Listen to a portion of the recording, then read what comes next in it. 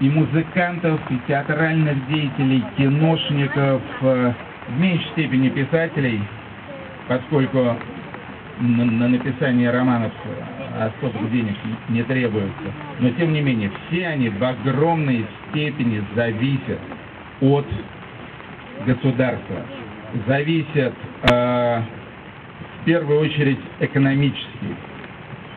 Э, и это точно та же самая история, которая была в Советском Союзе. То есть при том, что сейчас у нас есть А, рынок или какое-то его подобие, Б, как бы нет цензуры, хотя на деле имеются как бы скрытые механизмы и рычаги, а, но при этом взаимоотношения творческой элиты и власти остались точно такие же, как при совке. Я об этом говорю сознанием дела, поскольку мне 56 лет, вот стукнуло два дня назад. Вот, и большая часть своей жизни... И большую часть своей жизни все-таки я прожил в стране под названием СССР и знаю, как там это было. А, вот. И воевал я там, кстати говоря, не столько с кровавой гобней, сколько вот с Союзом композиторов, Министерством культуры, отделом культуры ЦК КПСС, всякими комсомольскими там этими, значит, опять же, культурными инстанциями и так далее. Я прекрасно знаю, как это было устроено там. То есть там государство держало всю культурную элиту на максимально коротком поводке, Э, при помощи двух инструментов. Инструмент первый – это привилегии, элемент э, второй – это деньги. Сейчас не изменилось практически ничего, только я бы сказал, что все-таки, во-первых, теперь это деньги, а во-вторых, уже привилегии. Э, и это, конечно, и это, конечно, очень и очень подло. И я считаю, что покуда, покуда такая ситуация у нас будет сохраняться, в общем-то, никакого на самом деле а, мощного, конкурентоспособного, творческого э, искусства и культуры, которыми можно было бы гордиться и предъявлять и так далее, вот, у нас не будет, потому что все это у нас, за исключением, опять же, отдельных инсургентов, значит, все это у нас на полу согнутых, или даже на три четверти согнутых, и опять же там на полу шишечки. Это все очень и очень скучно. А, есть, правда, как я уже сказал, определенные, определенные надежды и перспективы, потому что если посмотреть, что у нас было несколько лет тому назад, то было еще гораздо хуже. Сейчас стало намного живее, слава богу, есть и такие гражданские форумы, есть и какие-то интересные фестивали, вот будет, скажем, Пилорама э, под Пермью, э, в бывшем Гулаговском э, заведении, э, проходят какие-то, ну вот, скажем, вот был концерт в, в мою поддержку, и как его сурковцы не прессовали, молодцы ребята, вот хозяева клуба «Хлеб», они выдержали этот прессинг, супер молодцы журналисты, которые просто встали стеной вокруг этого концерта и в день концерта, значит, сказали, что концерт будет и так далее. И, в общем-то, власть просто, ну, они технически даже, я бы сказал, испугались.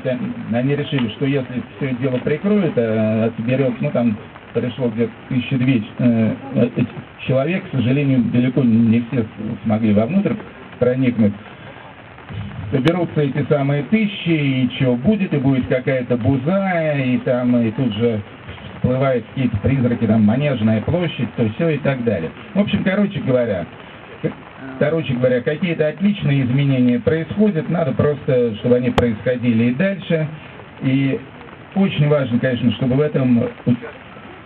Ага, спасибо. А, чтобы в этом участвовали и творческие люди, и публичные люди, а не только скажем, такой, знаете, usual suspect, да, то есть обычный список подозреваемых. Шевчук, э, там, Чирикова, арт-группа «Война», Миша Барзыкин, Алексей Навальный. Надо, на самом деле, да, вот сейчас вот, слава богу, отлично. Я, я ужасно рад, что Леня Парфенов, талантливейший человек, бесспорно, телевизионщик номер один в нашей стране на протяжении последних, последних 20 лет. Вот он вот тоже, в общем-то, э, занял такую вполне, вполне определенную, смелую, независимую позицию, вот, за что просто ему низкий поклон. Это человек, который меня познакомил в свое время с Александром Башлачевым, что вообще до некоторой степени просто изменило мою жизнь. Вот, так что я ужасно рад, что Ленка тоже, э, тоже оказался большим молодцом. Вот, в общем, надо, надо, конечно, э, надо не бояться, вот что. Надо не бояться, потому что люди, люди честные, совестливые, искренними убеждениями, они априори, они по определению сильнее людей корыстных, циничных, людей, у которых нет веры, нет убеждений, а, потому что то, что делаешь по велению сердца, это, это гораздо более сильная э, мотивация, чем то, что люди делают, э, скажем, для того, чтобы положить в карман там какую-то лишнюю пачку. Вот, поэтому сила и моральное превосходство, несомненно, на нашей стороне. Э, и спасибо вам всем большое. Я закончил торжественную часть. Если надо, то, то могу ответить на пару вопросов. Ура! Огромное спасибо, Артемий Ефимович, за замечательное гражданское выступление, исполненное, да, говорят, высокопарный язык гражданственного пафоса, это очень правильно. А сейчас давай, давайте вопросы по прежней вчерашней схеме, то есть, друзья, поднимаем руки, представляемся и по возможности очень коротко задаем четкий вопрос. Да, вот. Да, вот вы вот. Я уже дотянулся. Из, из дождя, пожалуйста. Микрофон!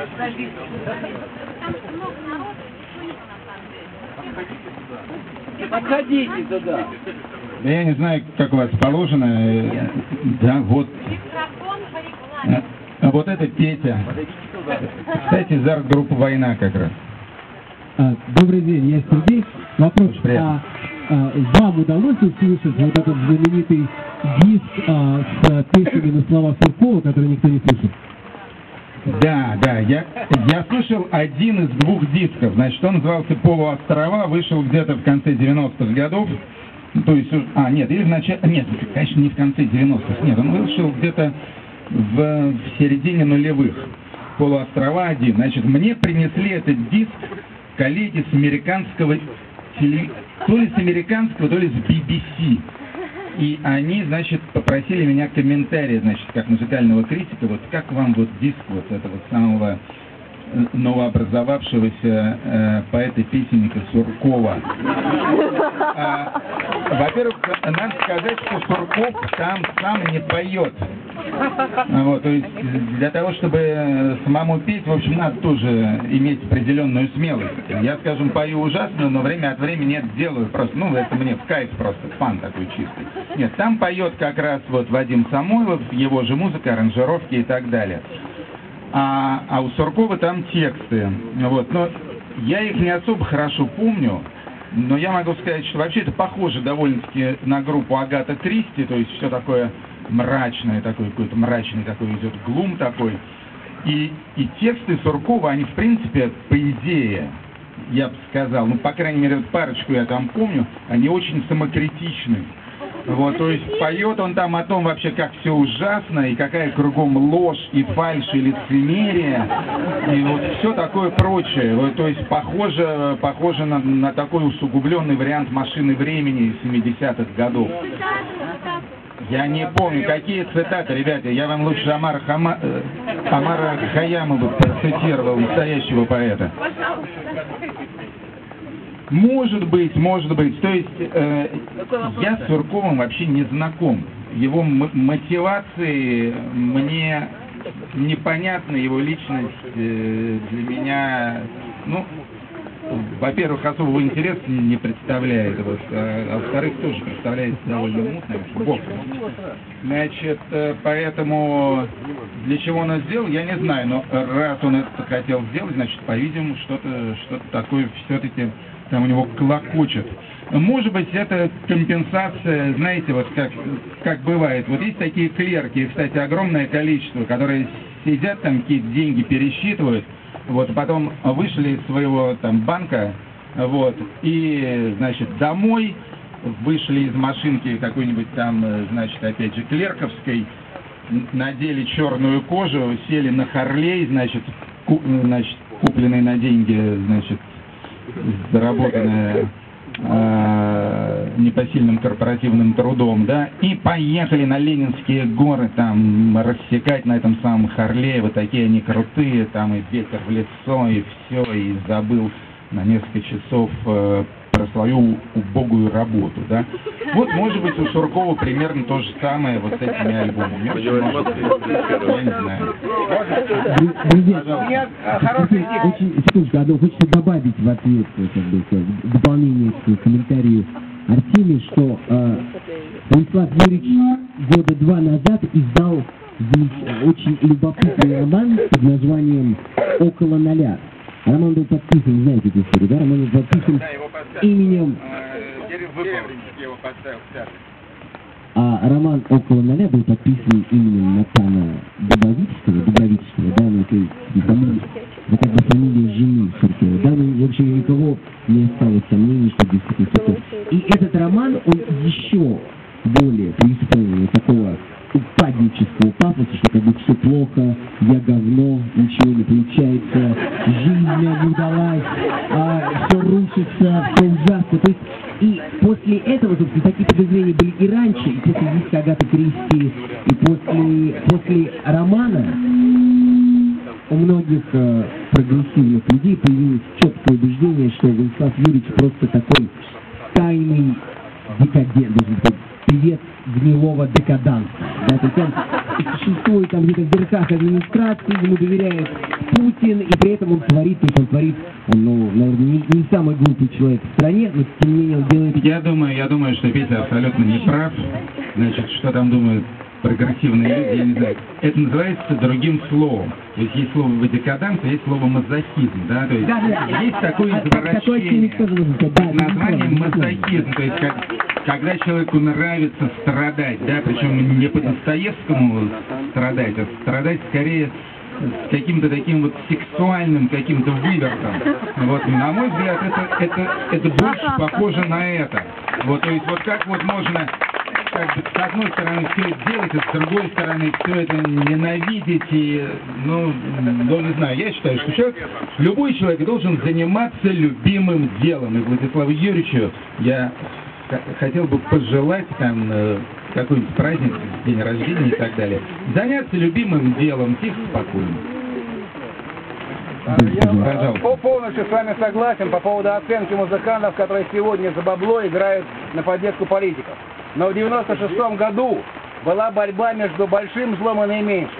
Я не согласен. Я не закончил вопрос, простите. Ай, да, давай. Простите, я не закончил вопрос. Так вот, не кажется ли вам, что те, кто пользует для своего кармана, играли на Ельцина, значит, э, боролись против большого зла. Те, кто э, не хотели в эту э, игру играть, то те что пускай боль- большое зло в лице Зюганова придет. Вопрос распадается на два. Во-первых, э, должны ли люди вообще ради денег идти на, какие-то подлые и неискренние поступки? Я считаю, нет. Вопрос второй же чисто политический. Ельцин или Зюганов? Значит, э, мы знаем, к чему привело э, то, что Ельцин победил на выборах 96 года. Оно привело вот к тому, что мы тут греемся у этого костра. Значит, э, что произошло бы, если бы по- победил Зюганов, я не знаю, и я абсолютно не исключаю того, что на самом деле ситуация э, сложилась бы каким-то более интересным, более вариативным, динамичным и прочим образом. И тем более, что я никогда, никогда не был антикоммунистом. Да, пожалуйста. Город Рязань. Евгений. Алексей Воробьев. А, это вот конкурс Евровидения. Хороший вопрос, хороший вопрос. Я думаю, в Рязани есть артисты получше. В свое время в средствах массовой информации при- приобрел очень широкую популярность комментарий Артемия Троицкого на творчество Димы Билана, когда он выступал на Евровидении, это вот стало таким хитом, до сих пор вспоминает, как вы его присанули. Заслуженно. Дальше, пожалуйста, друзья. Ю- Юрий из Питера. А вот меня интересует вот наша питерская певица Елена вы Не слышно. Как я отношусь к Елене Ваенге? Да, во-первых, я только что приехал из Питера, с Санкт-Петербургского экономического форума, так что привет вам от, э, э, значит, привет от форумчан. От одного форума другому, и я в качестве этого самого мостика. Значит, э, Елена Ваенга, на самом деле, она такая милая женщина. Вот я не очень понимаю, почему ее называют шансоном. По-моему, она такая певица, типа скорее Алла Пугачева, если она имеет отношение к шансону, он ближе к французскому, чем к русскому. Вот она хорошо поет, искренняя женщина. Это вообще как бы, это вообще, ну как бы это не та музыка, которая нравится мне. Потому что я сам не женщина, мне вот эти вот страдания такие бабские не особо близки, вот, э, но в отличие, в отличие от огромного большинства тех артистов, которые у нас как бы э, э, привечаются, скажем, федеральными телеканалами, я считаю, что Ваенга, в общем-то, одна из очень немногих, кто вообще э, похож на человека. Я думаю, молодежи не понять вопроса, который я сейчас задам. Значит, во времена статей про рагу и синие птицы, как вам вообще удавалось публиковаться в те годы? Ой, непонятно. Вы знаете что? Я вообще парень гибкий. И, и мне всегда очень нравился душ Шарко. Вот и нашим, и вашим. Вот скажем, вчера на СПБ экономическом форуме, а сегодня на антиселигере, да? Точно так же у меня все происходило и в советское время. Я, с одной стороны, печатался в журналах там типа орган ЦК ВЛКСМ «Ровесник», да, писал там статьи всякие про Led Zeppelin, Deep Purple и другие любимые группы президента Медведева, да. Значит, э, с другой стороны, печатался в сам издате, устраивал подпольные концерты и так далее. Я вообще очень любил играть в кошки-мышки, вот, и быть таким, как бы, микро-бэтменом, да, в своем мире. Как мне это удавалось, не знаю. Я думаю, в силу аб- абсолютной беспечности и наивности. Я, я никогда в жизни не думал о последствиях чего бы то ни было, вот, а просто интуитивно, интуитивно искал, где веселей. Вот и все. Вот, вот, собственно, и вся моя жизненная мотивация. Э, Как получалось, э, не знаю. Кстати, меня тоже тогда, в конце концов, в общем, надухарился я до того, что когда в 83 году при Андропове меня уволили с работы, там всякие обыски были, что еще, а, и запретили. Я два года вообще не печатал с 83 по 85 я был под полным запретом. Но опять же очень интересно, что в это же самое время, с 83 по 86 год, я в соседней Латвии на латвийском государственном телевидении вел телепередачу. То есть в Москве просто был такой абсолютный трейдинг, причем советский, покруче, чем сейчас. Вот, а в Латвии я был телезвездой. Так что СССР была страна парадоксов, конечно. А, Вопрос немножко вот по поводу политической гибкости, о которой вы э, говорили. А, Вот как вы оцениваете, как э, профессионал вот, э, в некоторых рейтингах, в том числе музыкальных, э, гипотетическую такую тройку, если бы она могла быть создана, например, Федоров, Навальный и Шевчук. Вот сколько бы она завоевала в нашей стране на выборах на будущее? Вот я только не знаю, кто такой Федоров. Ну, это миллиардер. Прохоров. Прохоров. Прохоров, Навальный, э. Вы знаете что? Значит, э, Прохорова я впервые встретил вчера на э- э- эконом-форуме. Да-да-да, там был такой ее мобиль типа фургончик. А, вот.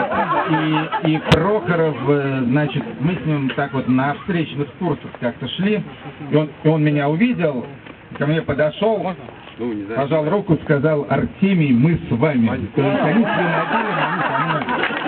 А, Вот. Других контактов с Михаилом Прохоровым у меня не было, я его не знаю по-человечески. То есть, в принципе, вот вся эта история, она не только политическая, она и человеческая тоже. То есть я считаю, что если делать честную политику, то это должно быть и честно с точки зрения а, мотивации, а, а не просто вот я, я почему я ненавижу политику и вот я не, не примыкаю ни к каким партиям и так далее. В принципе, я считаю, что быть честным политиком примерно то же самое, что быть искренним дипломатом, да. То есть это оксюмарон, это, это, это невозможно. Вот, к сожалению, это правило до сих пор. Если это будет э, каким-то образом э, изменено, вот тогда другое дело.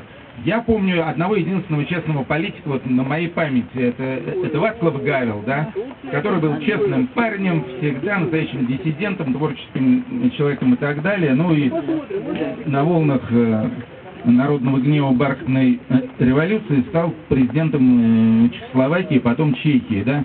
Редкий, редкий пример, когда нормальный, честный человек э, стал э, большим политиком. Это не то, а ну, это Гайдара терпеть не могу. Значит, э, э, короче говоря, вот эти вот ребята, вот, ну, я тебе с большим трудом представляю Шевчука в одной компании с Прохоровым.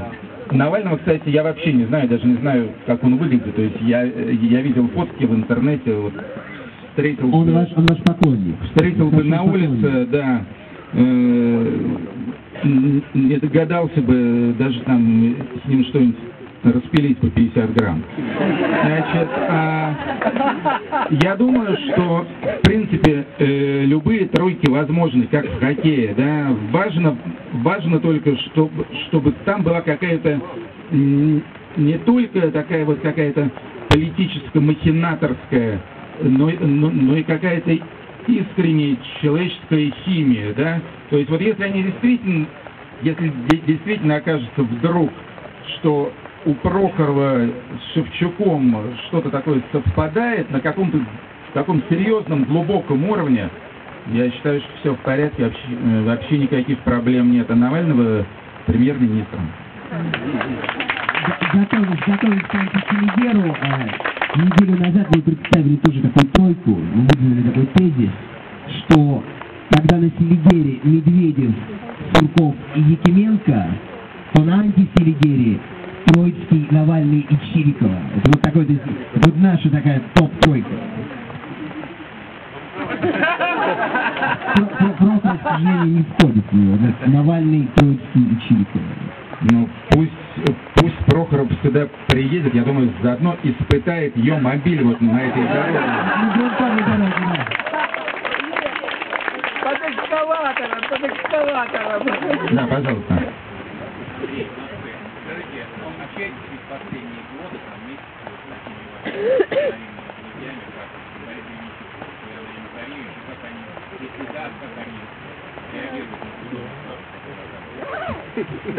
Вы знаете что, значит, Борис Горбенчков, насколько мне известно, вот в тот же день, 10 июня, когда у меня был концерт, э, ну, то есть не у меня, я там, правда, тоже вот с Женей мы спели песенку там, да, вот, все девчонки парами, только я одна. Э, Вот, а, а у, у Бори Гребенщикова в этот же день был концерт, по-моему, в Крокус Сити Холл. Насколько мне известно, он там э, высказался в мо- в мою поддержку. Мы общаемся с ним мало, просто потому что, ну, у нас немного разные жизненные интересы. Вот он человек богоискательский, к власти относится, в принципе, лояльно, поскольку считает, что она типа от Бога. Вот. Э, Я этих э, воззрений не разделяю, э, вот, будучи человеком, а, нерелигиозным, б, э, значит, относящимся к власти абсолютно непочтительно. А, Вот. Но, тем не менее, Борь талантливый человек, Андрей Макаревич тоже талантливый человек. Вот. И тот, и другой мои, в общем, в прошлом близкие друзья. А, Макаревич, надо сказать, что вот за все то время, что, ну, вы знаете там, что вокруг меня сейчас происходит, мне позвонили очень многие люди, в том числе куча всяких людей из-за границы, в том числе и известных. А вот, и э, там люди прочли там статьи про мои тяжбы в английских газетах, звонили всякие имена. Не буду называть их, нескромно. Андрей Макаревич мне не позвонил ни разу за все это время. Я ему, я ему тоже, естественно, не звонил, потому что я не считаю, то есть я вообще за все это время, я ни разу никому не звонил, никому не жаловался, э, и ни у кого не просил поддержки. Ни разу, ни у кого. Хотя теоретически бы. Вот я считаю, что, что это не мое дело. Значит, э, Вася Шумов организовал концерт э, в мою поддержку. Опять же, это было не, по моей инициативе, он меня поставил перед фактом. Вот. Единственное, э, о чем он меня спросил, это приду ли я сам на этот концерт. Я сказал, да, конечно, с большим удовольствием. Вот. Э, То, что Макаревич не позвонил, это, ну, это его дело. Э, Я, я не собираюсь этому давать какой-то оценки, могу просто констатировать.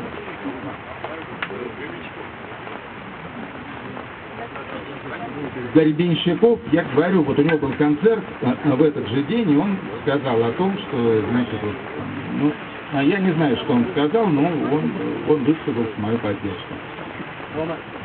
Да.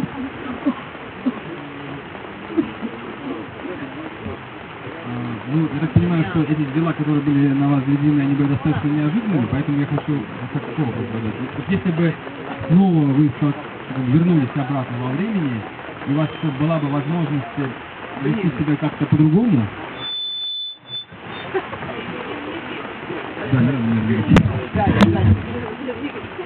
Проще говоря, а, в сделали бы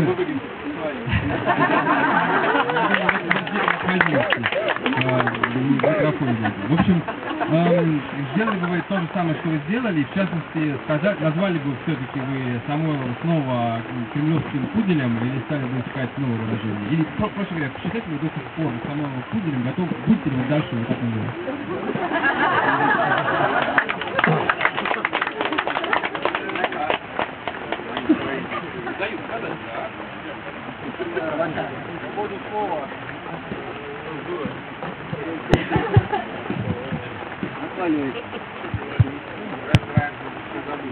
То есть я... А, все. Все в порядке. Значит, э, я хотел бы сказать, что я не нахожу абсолютно ничего криминального в своих высказываниях ни в адрес Самойлова, ни в адрес этих га- гаишников, ни, э, ни в адрес э, Киселева. Все, что я сказал, это абсолютно спокойные, э, в меру ироничные, стопроцентно цензурные по форме мои суждения. Э, Вот, поэтому, если бы я сейчас сказал, что нет, я бы, конечно бы, как герой рассказа Гайдара самого старшего «Голубая чашка», вот все бы сделал бы по-другому, и назвала бы его не пуделем, а назвала бы его, там, скажем, ласковым котиком. А, Вот, э, при Церкове. А, Вот. Э, Это означало бы, что я, э, что я признал то, что, вот, что я действительно совершил некое уголовное и гражданское наказуемое преступление. Это не так. Я абсолютно ни в чем не виноват, я не нарушал закона и, и не делал ничего такого, что вообще нормальному человеку пришло бы в голову как основание для, для судебного иска. То есть вся эта история, знаете, вы понимаете, что обидно? Если бы, если бы меня бы еще мотали по судам за дело, да, то есть я бы как-то так круто выразился, там еще матом, в общем, сказал бы так, как надо, да, Вот. э, Тогда да, тогда приходилось бы действительно иметь дело, ну, с какими-то реальными аргументами обвинения и так далее. Здесь ничего этого нет. Это все, это все притянуто за уши, сшито белыми нитками.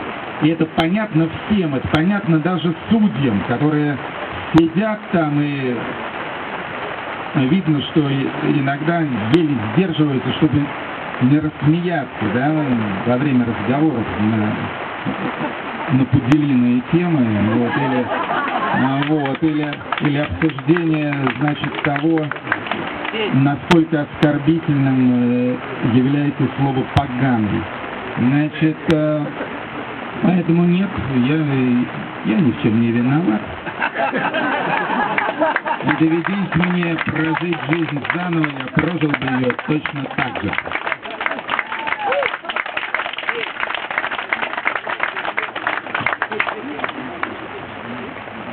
Значит, не держитесь, пожалуйста, за стойку палатки. Да? Вот Так, я чувствую, вопросов больше нет, Дальше, да? да, То есть нет. вот как только дождик припустил, тут вы меня из палатки выгоняете. Жутко просто интересно, а ваша оценка, вот все-таки, помните, вы рассказывали про предвыборные гигантские деньги артистам, музыкантам, а вот, э, как вы оцените этих людей, которые там голосуют и проиграют, которые участвовали в этих э, бандитских кампаниях, ну, на мой взгляд, они бандитские, а кто это, заложники, которые им деваться некуда, им сказали, ну-ка, фас, иначе мы тебя вообще закроем, или люди без чести и совести? Э, В общем-то, верный ответ, на мой взгляд, это вариант номер два. Конечно, положено было бы дать четыре варианта.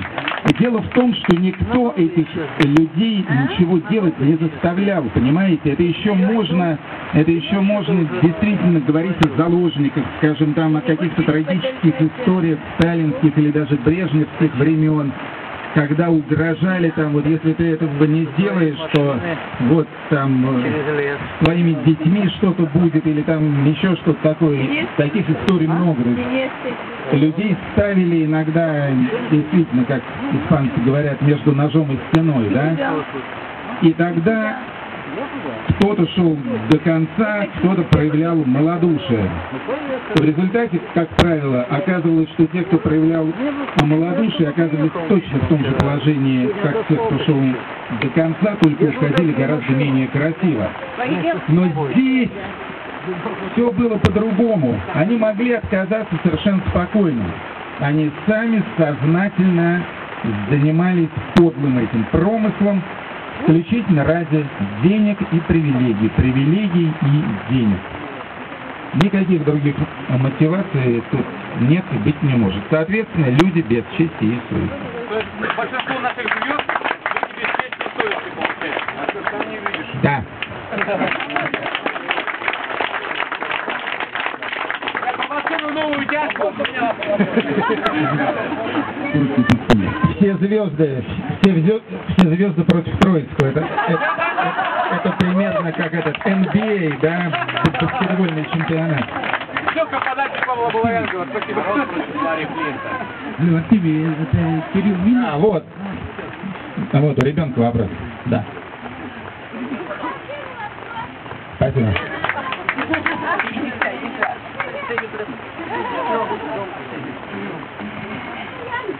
я вам написал письмо, помните, на компьютере?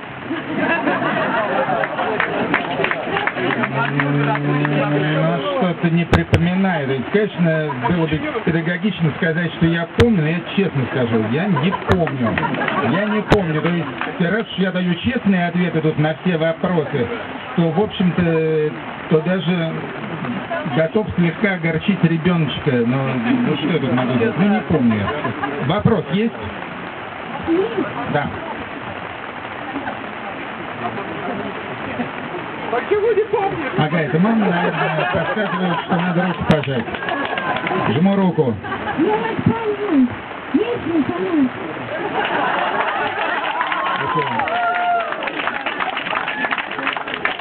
Спасибо большое.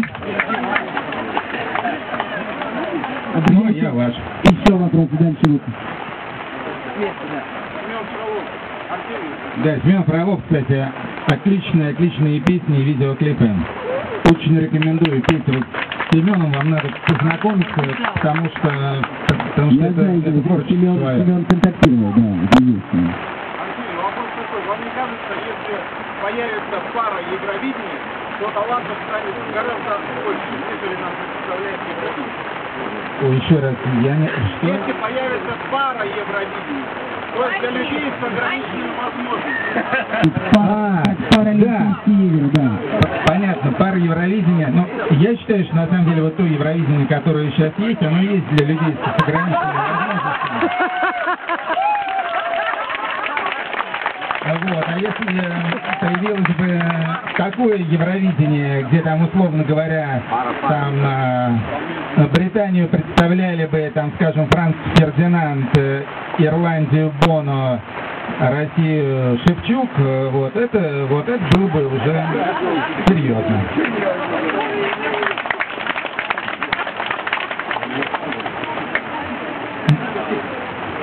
Артемий, вопрос следующий. Э, В средние века э, метод решения споров э, в одной из стран был следующий.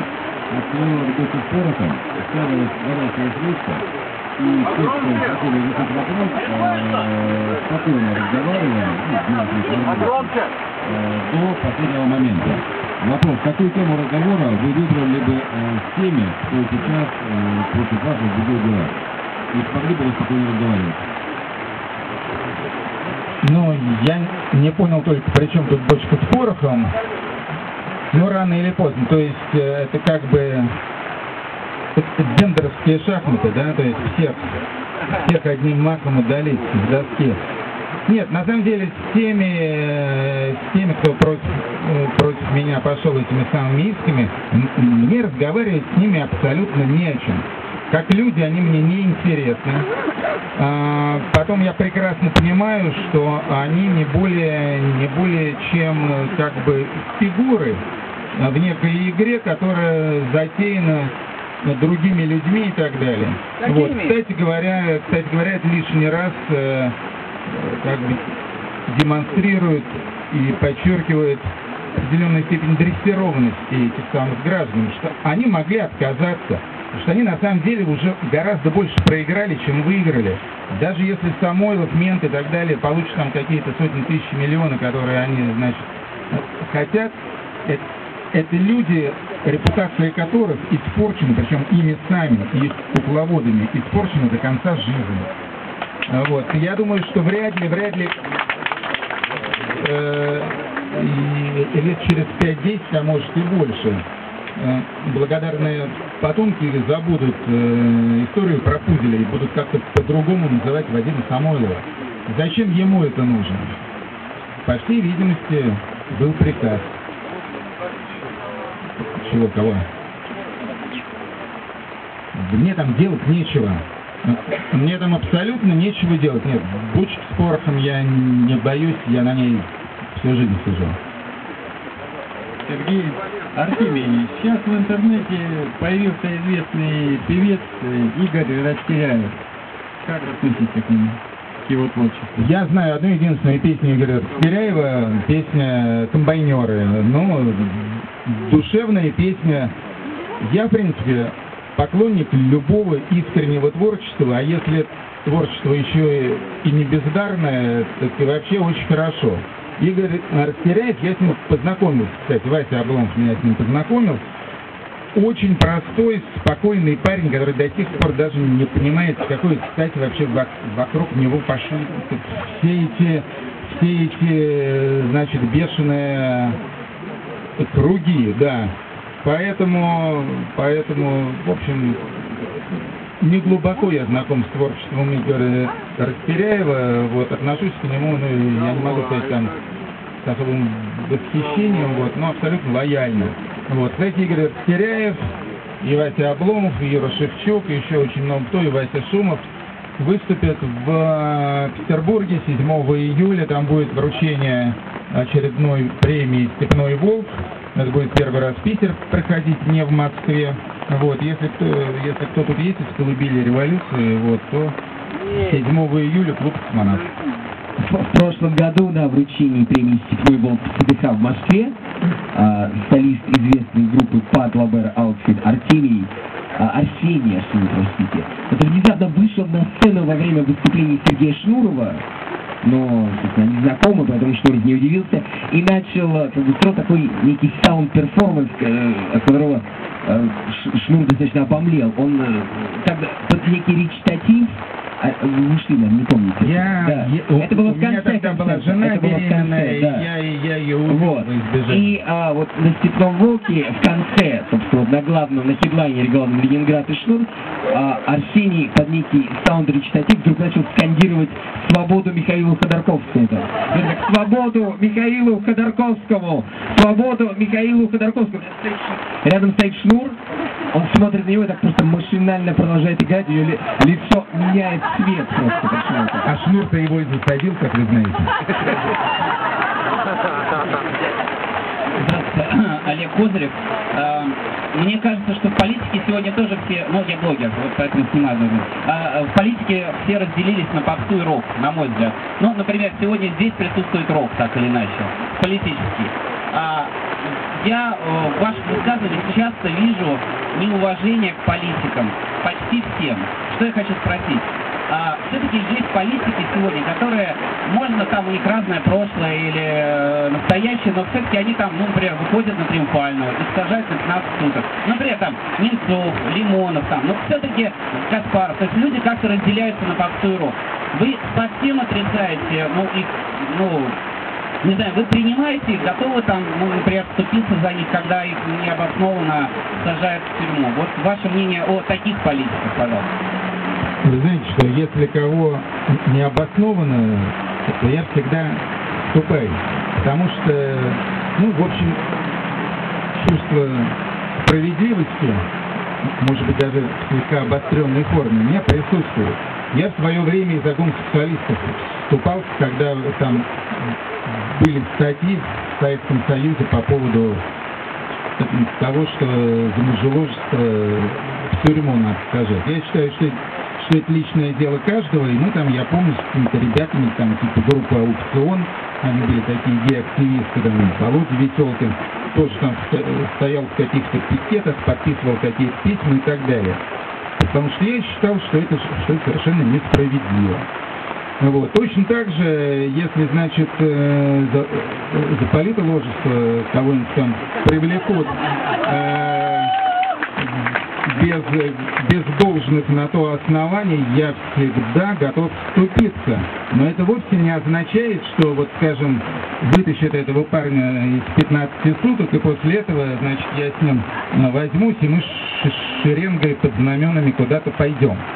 Моя проблема с российскими политиками стоит только в том, что они меня ни как люди, ни как, э, как бы сказать, деятели, они меня не убеждают. Есть хорошие ребята. С Борисом Немцовым мы дружим, просто по-человечески дружим. Вот. И, и иногда сидим там, выпиваем, разговариваем на разные темы, не обязательно даже политические. Есть еще некоторые наши политики, к которым я просто по-человечески отношусь с симпатией, там, скажем, э, Володя Рыжков, да, но вот они меня стали, значит, каким-то образом привлекать к движению под названием Парнас, да, я так понимаю, партия народной свободы. Ну, я решил узнать, что это такое. Зашел в интернет, обнаружил там некую переписку человека по фамилии то ли Милов, то ли Милов. Это, это- это очень, это очень интересные события. Это С какими-то, там еще, я не помню с кем. И после этого для меня тема партии Народной Свободы просто закрылась, потому что, потому что это просто какие-то истерические, хамские, непонятные люди, да. Э, вот.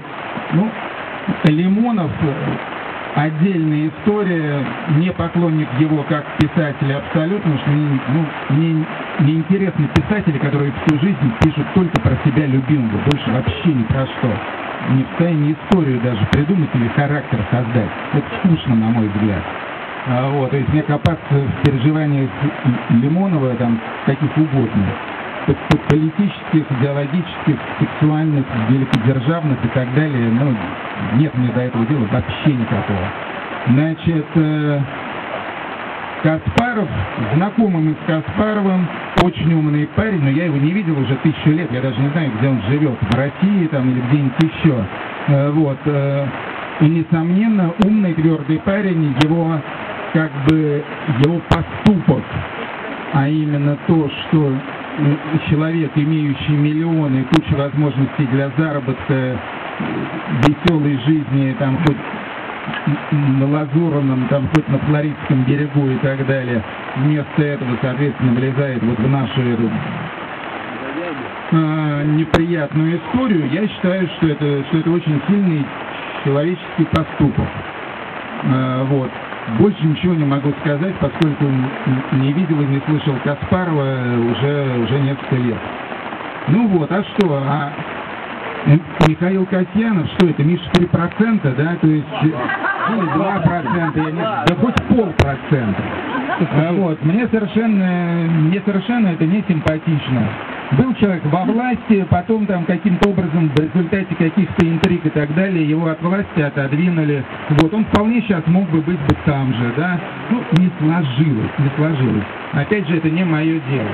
А, вот, нет, нет доверия вообще ни малейшего. Вот, вот был бы у нас бы человек там хоть в одну сотую часть Че Гевары, да, с ним бы Чирикова. и пошел бы гуськом. Нет, Женя, Женя отличная, отличная, конечно, дама. То есть я уже несколько раз говорил, что Чириков президенты. Вот. Ее бы я поддержал. Ар- Артемий Тёпка, значит, предвыборная программа, так сказать, да? А Навальный? Да, кстати, именно вот, скажем, Женя, да, потому что она, конечно, она, конечно, политическое животное, то есть, ну, это я с английского перевожу, political animal, да, потому что, скажем, вот были вот все вот эти вот идеи насчет того, что Шевчука в президент, вот это вредно, этого не надо. Шевчук хорош на своем месте, понимаете? Если бы Владимир Высоцкий стал генсеком ЦК КПСС, понимаете, из этого бы ничего хорошего не вышло. Шевчук должен быть Шевчуком, он должен быть поэтом, музыкантом, там, честью, совестью и так далее, а а никак не функционером. А вот Женя, она функционер по природе, поэтому ей, ей и самое место в Кремль, в Белый дом, там, хоть в американский. Знаю всех, проститутка и мент. Артемий Троицкий наш президент. Знаю всех, проститутка и мент. Это откуда, откуда этот лозунг, когда он появился? Да я придумал просто. А вы же придумали. А про себя? Мое место, на самом деле, гораздо ближе к месту Шевчука. Знаете, я, я даже когда... То есть я два раза в жизни работал на начальственных должностях. Э, Сначала я был начальником музыкального вещания и он российского телевидения с 91 по 93 год. А потом я был главным редактором журнала Playboy. Я не мог справиться даже, даже там, потому что, потому что я плохой менеджер. Я не могу на людей кричать, я не умею интриговать, э, там и прочее, и прочее. Мне вообще, мне не место в политическом этом корыте абсолютно. Вот так что я беру самоотвод. Пожалуйста. Химчанин. Алло, минуточку. Э, э, Позвольте задать вопрос. Э, Много лет прошло со времени гибели известного певца э, Талькова. Вот ваше мнение о нем, и о его творчестве и э, э, э, о том, что связано с его гибелью. Насколько она была, так сказать, э, э, криминальна? А, С Игорем Дальковым я познакомился аккурат, когда был начальником по музыке на российском телевидении. Надо сказать, что поскольку Тальков был человек абсолютно не из рок-тусовки, был мне совершенно незнаком, а, вот, то никаких особых соображений от Талькова у меня не было. Вот, но он пришел своим директором ко мне на телевидение, предложил снять его концерт.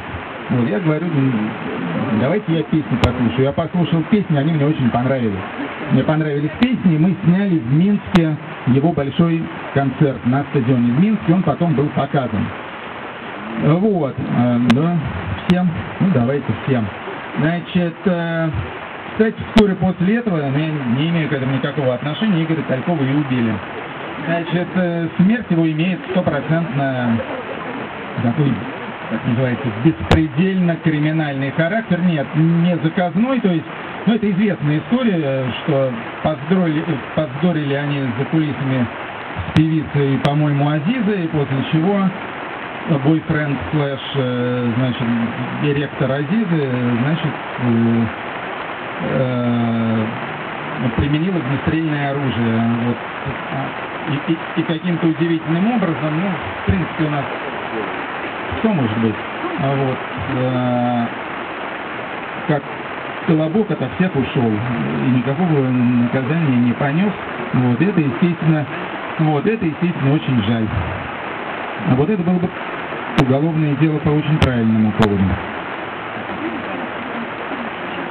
У меня вопрос к вам как деятелю культуры. Скажите, как вы относитесь к высказыванию, что художник должен быть голодным, и что если потворствует искусству, то искусство ну, отмирает и становится не такое интересное? Это первое. А второе, моя бабушка из Нижнего Тагила очень просила передать вам, что она. Спасибо большое. Бабушке тоже привет. А а вы знаете, что все художники разные на самом деле. Есть художники, э, которые на самом деле особенно хороши, когда они голодные. А есть художники, которые наоборот э, лучше всего себя реализуют, если жизнь складывается вальяжно, комфортно и не отвлекает о мыслях о творчестве. Есть художники, которые, которые лучше всего пишут, играют, когда они под кайфом. Есть художники, которые наоборот, э, вот они обязательно должны быть трезвыми, да. А, поэтому по поводу сытого голодного никаких универсальных рецептов тут нет и быть не может. По поводу отношений с властью тут история более, тут история более понятная.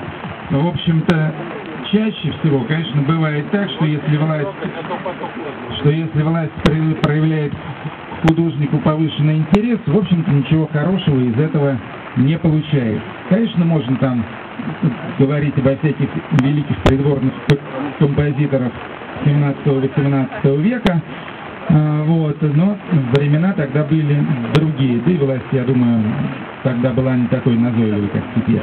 Вот, так что я думаю, что любой флирт с властью а, как минимум не дает художнику ничего. А насколько, а насколько он может ему повредить, это уже, это уже зависит от конкретной ситуации.